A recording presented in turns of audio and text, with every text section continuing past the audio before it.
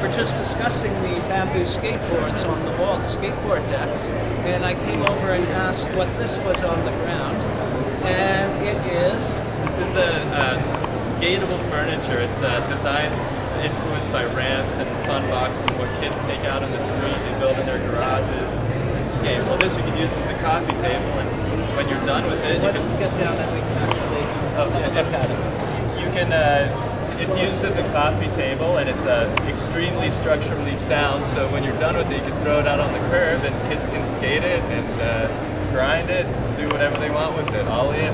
Or if you don't mind a little bit of a ragged look, you can take it out, use it, bring it back in, and whatever, and develop a little character and texture. Exactly.